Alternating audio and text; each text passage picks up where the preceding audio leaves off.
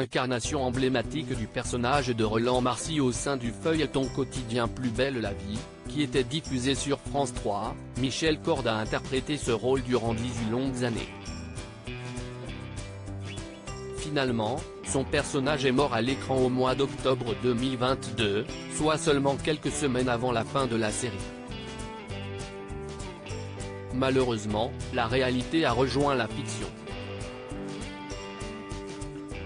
Vendredi 5 mai 2023, le corps sans vie de Michel Cord a été découvert au sein de sa maison de Grabel dans l'Hérault. Mort par arme à feu, l'acteur a laissé plusieurs lettres derrière lui, ce qui laisse à penser qu'il s'est peut-être lui-même ôté la vie. Les funérailles de Michel Cord ont eu lieu le mercredi 17 mai 2023, à 10h30, au complexe funéraire de Gramont, a révélé le journal régional Midi Libre. Peu après l'annonce de son décès, plusieurs acteurs de Plus belle la vie ont rendu hommage à Michel Cord, mais pas Laurent Kérouzoré, qui incarnait le personnage de son fils Thomas dans la série. Certains pourraient s'étonner de mon silence. Il n'est, hélas, que le reflet de ma peine et de ma douleur.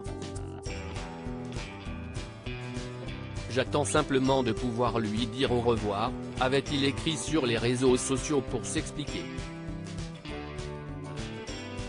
Nos plus grandes richesses sont nos souvenirs. Alors Michel m'a laissé une fortune. Ma mémoire est pleine. Je vais passer le reste de ma vie à les dépenser ces souvenirs. Il aura fait de moi un homme riche. Au revoir Papa Cord, a ensuite publié l'acteur le jeudi 18 mai 2023.